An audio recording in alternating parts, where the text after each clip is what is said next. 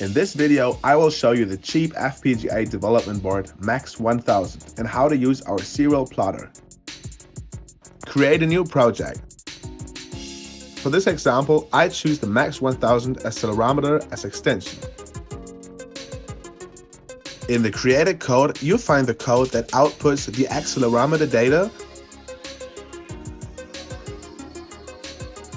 the accelerometer interface, and the serial plotter interface that helps with sending data to the serial plotter. You just have to set the value to send, the name of the graph for this value, and you have to tell the interface to send the data. But you also have more options with the serial plotter interface, so you can add a time or a unit for the value.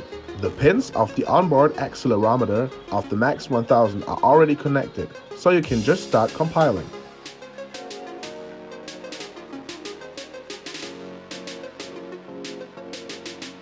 Note that the baud rate is set to 9600, so you have the correct setting in the serial monitor. Now, after I program the FPGA, I can go to the serial monitor and select the COM part. You already see the received data in the console, but to visualize that, you can open the serial plotter. For the y-axis, I want to take the time the data was received. I click on clear and now you can see how the graph changes when I move the development board. To have separate graphs, I can just select the option Vertically Arrange. And if you're interested in more projects, in the video description you can find the code for an oscilloscope and a logic analyzer that also use the serial plotter.